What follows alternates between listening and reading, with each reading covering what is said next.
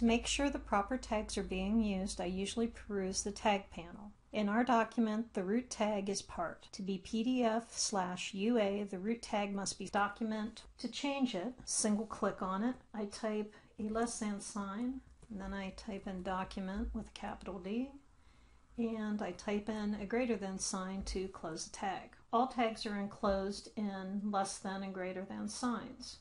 So when I look at the first tag under document, H1 is a heading level 1 and the first line of my document is a heading level 1, so this is correct. The next few lines are paragraphs or P tags. I have a list or L tag. Sometimes I drill down to make sure that there are list items or LI tags. And under the LI tag, I make sure that there's a list body tag or an L body tag where L and B are capital letters. The paragraph and heading tags are appropriate until I get to a figure caption. For a caption, it's easiest to change the P tag to a caption tag in the tag panel.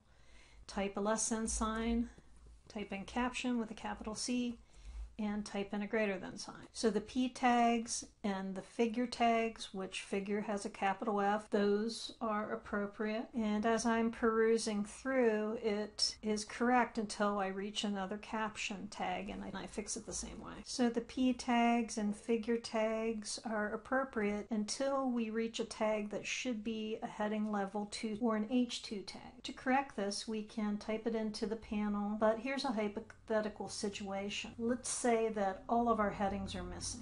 It's easier to use the reading order panel to change the heading tags in this case. I'm going to select the reading order button in the left-hand navigation, then the order button, and from the pop-up menu I'm going to select show reading order panel. There are various buttons to fix various tags in the reading order panel.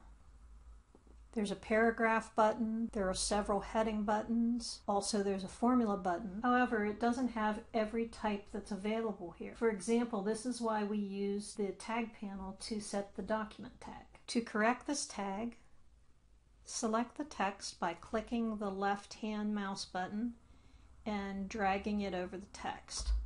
Now everything is highlighted, I can choose the heading 2 button.